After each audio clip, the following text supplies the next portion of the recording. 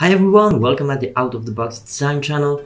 This video will detail the process of my first video where I used AI to design the tea packaging. So let's dive in. The first step is to know what dimensions the packaging will be. Maybe you have to conceive the layout by yourself, but in most cases, the printer or product development team should send, should, excuse me, send you a flat layout. If that's not the case, and for the purpose of this video, I will provide you a few resources like Vecteezy, Freepik, and Template Maker who all have pre-made assets, but be aware that those are not always licensed for professional use. Right now I am only using a layout for educational purposes uh, that I got from Freepik. So, the second step is to know what product inside the packaging will be. Does the brand have specific requirements, such as holding onto a graphic chart? Are there any legal texts? Is a barcode required? Will there be nutritional facts? Does the client aim for a specific color? And so on. Answers to those questions will come from a brief with your client. You should also be aware of how to set the file for printing. Indeed, the file has to be 300 dots per inch uh, for the best results, even sometimes higher. And you'll have to test it before. Uh, make sure to know all the printer's requirements. You can give them a call and uh, ask them which which uh, type of file they prefer. Uh, if they uh, will print in RGB or do they want CMYK, it all depends on your printer. So be sure you ask me before. Third step is getting inspiration and brainstorm ideas. In this video, I want to make a noodle takeaway box from an Asian fast food uh, with a traditional style. Of course, you can make everything by yourself, but my video aims to show you how to implement AI in your workflow. So I'm gonna use the least amount of uh, stock uh, footage possible. I think I didn't even use uh, any uh, photo or image uh, from a, a specific website, only reference images.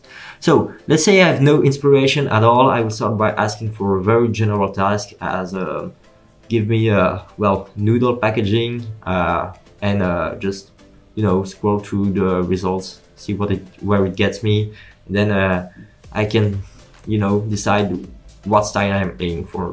This will really wake up your imagination and let you understand what you want and what you don't. Fourth step is to detail the prompt. Once again, I will be using Promptmania. It's an online and free prompt builder to refine tasks.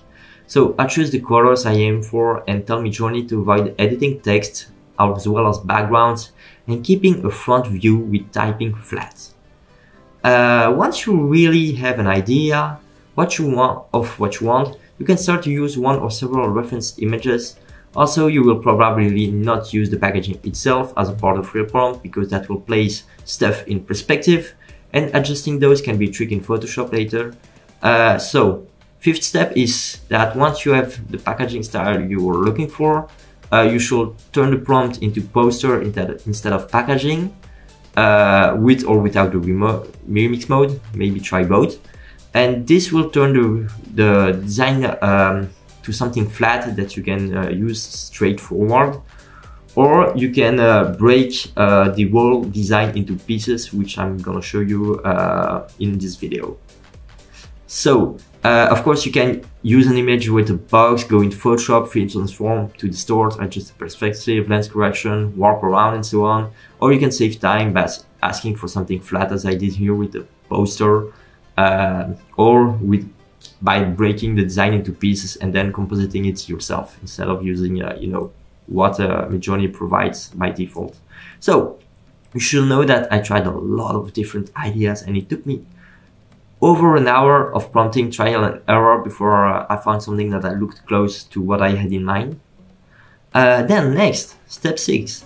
Now that you want, now that you exactly know what you want, it's time to break the design into pieces. Well, this is not a required step if you had a result that could be used as it is, but in this video I'm using several assets all made in Midjourney um, to uh, composite my, uh, my packaging. Uh, so you can choose to use an, uh, excuse me. So um, I use a few assets as um, the pattern that you can make on your own with using a dash dash style dash dash version 3 in Midjourney. Uh, there isn't a dash dash style version in uh, version 4 yet. Uh, dash dash style provides uh, a, pa um, a pattern that really works. Uh, so if you copy one piece next to another, uh, they will uh, continue. Um, then you will see that uh, I made this uh, Asian circular seal. Uh, results were incredible, by the way, quite hard to choose between all of them. you can see here I used a little technique to make it symmetrical because well, uh, Midjourney doesn't always make things perfectly symmetrical, but for a logo, that's what you maybe aim for. The cook was also amazing, not perfect, but cohesive with the other traditional uh, Chinese drawing style out there. And uh, of course, uh, there was also this ramen bowl to make people hungry and to show uh, the product. Step 7. Time to dig into editing manually. First, turn to at least 150 dpi, uh, maybe a 300 as is required, but for this video I didn't want it to watch to, to wait too much for rendering and uh, I'm not building this for a real brand just for uh, to show you guys how this all works how I make my stuff.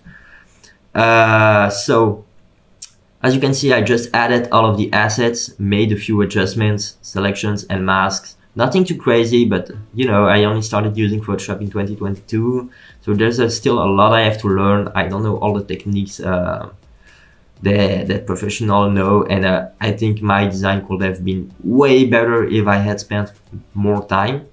By the way, for this video I didn't make a poster for mockup but this really helps make the product stand out. Once it's done, I think the final result is quite decent. Could be better, of course.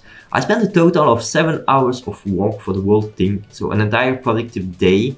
Whereas drawing every asset could have taken a day on its own, so you really, really gain a lot of time uh, when using AI. Imagine if I had to, to draw this cook entirely. Uh, this would have taken hours. Um, so, the final step, excuse me, just before the final step, step 8 is type. So, I prefer using Illustrator even though there are less options than in Photoshop just because it renders better uh, and uh, it makes those vectors very sharp. And uh, the final stage of course will be to send this over to the product development team uh, to make a print test uh, to see if the client, uh, to ask the client if this is okay for him, if there are things he wants to add, to remove, uh, of course, there may be uh, legal text to add, for instance, here, uh, maybe recycle um, icon and so on. And uh, yeah, that's it. Uh, I really hoped you enjoyed this video. Um, if you have any questions or uh, any subjects for for future videos, let me know in the comments. I'm trying my best to provide content. And see you soon on the Out of the Box Design channel. Thank you for watching.